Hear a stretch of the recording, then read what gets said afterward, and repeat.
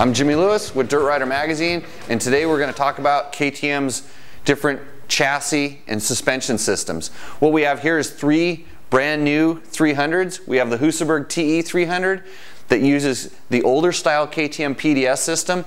Its upper shock mount is directly on the back of the frame.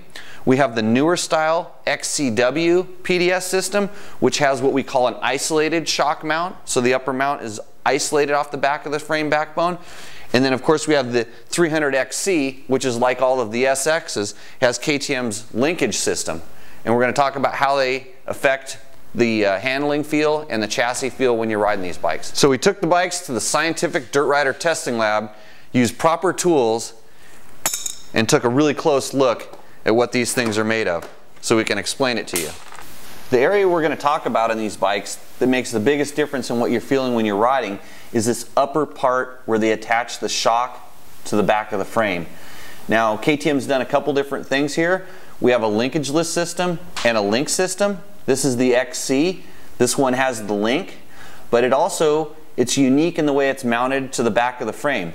What KTM has done is instead of mounting it directly into the back of the frame, they've built this tower and they've extended the frame backbone, swung it up a little bit, and then put the shock and mounted it out here to try to isolate some of the forces. So when your rear wheel hits a bump, it sends all that force up into this shock, and instead of transferring it straight up into the frame, it's kind of isolated back out here, and there's a lot of flex character that controls what you feel through the handlebars and the foot pegs.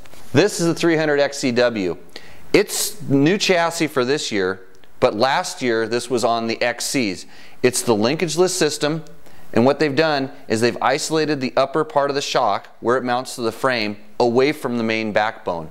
That's the kind of key to the new PDS system. Very similar to the way they're mounting the link shock as well, but if you look closely up in this upper area, you can see how the mounting point is a little bit different because it is throwing a slightly different amount of force up into the chassis.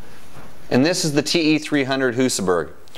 It's basically the 2011 and 2010 KTM XCW frame, which uses a shorter PDS shock, linkageless of course, and it puts the shock mount right on the back of this frame backbone. So essentially that's transferring the forces pretty much directly into this frame backbone. It's not isolated up on a tower like it is on the other bikes. And if you think all that shock tower stuff is crazy, all you have to do is take a look at the head stays on these bikes and it shows just how much additional tuning goes into controlling the flex and chassis character of these motorcycles. Engineers, we are not. But in theory, what KTM has done with their newer frame systems is to isolate the amount of shock force that you're going to feel. That force gets transferred up the backbone of the frame and you end up feeling it in the handlebars. So they're trying to lessen that sensation. The other advantage of the new frames is they've given, especially on the PDS, a little bit more shock length, which helps them control the shock stroke. On the XC, which has the linkage, now they can throw a little bit more progressive kick in there so they have even more control. So it's three basically different versions of the same thing. What's going to be neat is we've got three identical motors in three different chassis. We're going to be able to go out and ride these things and report back and tell you how they really work. So look for that test in the pages of Dirt Rider magazine and we'll see you out on the trail.